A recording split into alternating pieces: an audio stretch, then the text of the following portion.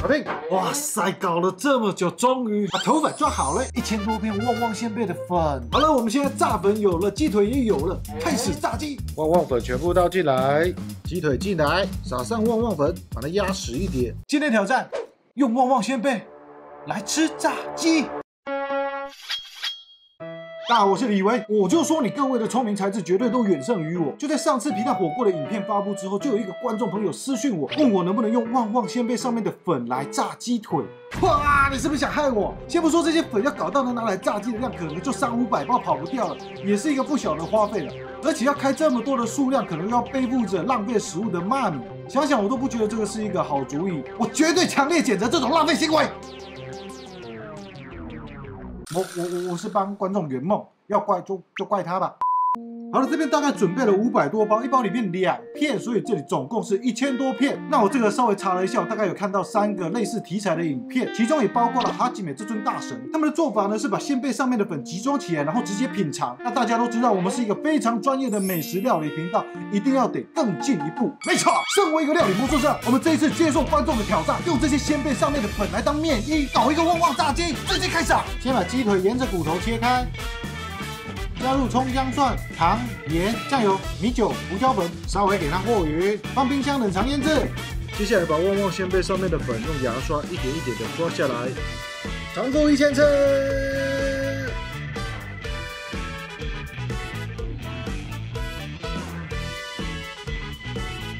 还没完成，让大家看一下，这是我们收集到的量。这个之前几位大神都说好甜啊，我来帮大家试一个。这个旺旺粉啊，太珍贵了，我们就浅尝一小口，像这样子。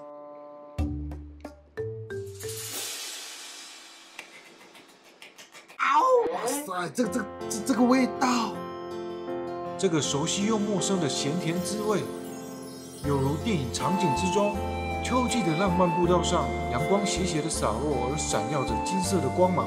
每一口都像是置身于糖果云朵中，轻柔而甜美，又仿佛梦境里的仙子在耳边低语：“起床，起床了。”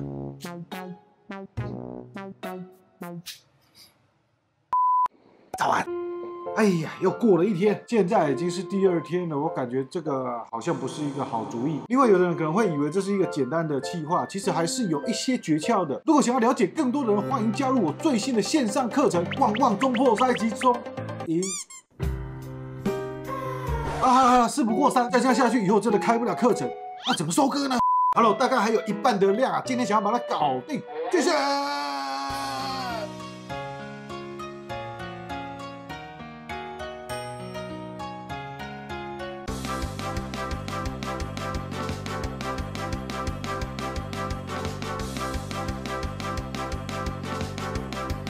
搞定！哇塞，搞了这么久，终于把头粉抓好了，一千多片旺旺仙贝的粉，搞坏了两只牙刷。剩下的旺旺仙贝大家不用担心，我刚好呢就认识一个很爱吃旺旺仙贝的狗。好了，我们现在炸粉有了，鸡腿也有了，开始炸鸡。旺旺粉全部倒进来，鸡腿进来，撒上旺旺粉，把它压实一点，两面都均匀裹上面衣哦。那这次呢，我们挑战脆淋式的炸鸡外皮，把多的粉稍微抖掉。接下来重点在这里哦，准备一碗清水，直接把鸡腿过个水。呵，怎么都化了？抱歉了各位，我们这个旺旺粉好像一碰到水，整个都化掉了。这个我们改变一下战略啊，直接裹粉来炸就好了。幸好我们这个旺旺粉还够哦，应该两只鸡腿还是绰绰有余啊。我真的开始期待这个炸鸡到底会有多厉害啊！给它抖一抖。像这个样子，我一开始也没预料到会搞这么久，所以这个鸡腿其实也腌制了三天。不过这边基于卫生考量，还是要提醒大家，腌肉不要超过二十四小时。那我就是因为预算不够了，再加上我就那个烂命一条，所以就不管那么多了，下油锅炸鸡。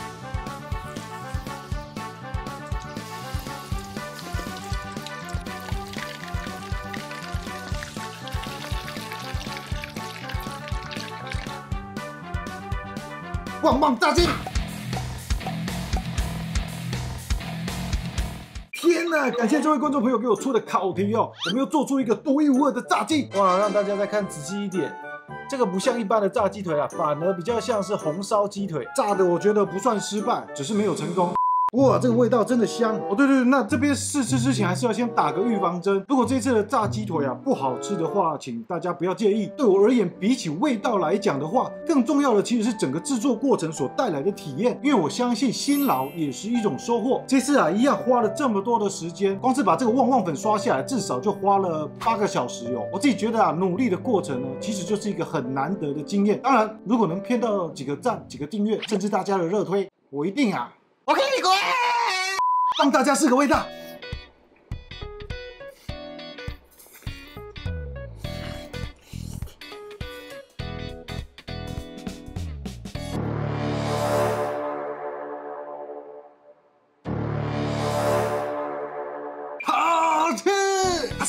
虽然这个没有一般炸鸡酥脆的外皮，不过真的很香啊！吃起来像台南一间很有名的排骨就那种咸咸甜甜的味道。可能是这个旺旺粉里面真的加了太多的糖，所以整个吃起来口感算是偏甜。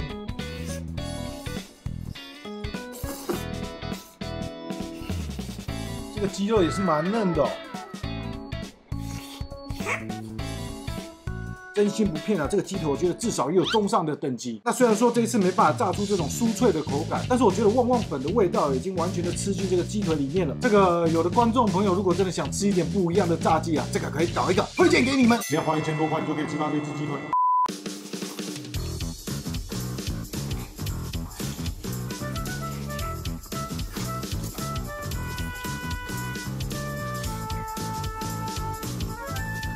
吃完了，哇，终于！现在这个影片终于即将接近尾声了。讲真的，我已经拍到有点累，有点恍神。一般有在非常疲惫的时候，都会感觉到非常疲惫，所以我会真的不确定这两三天到底有没有漏拍什么镜头。反正总之，相信大家也可以发现，当你们看完这个影片的时候，这个影片就结束了。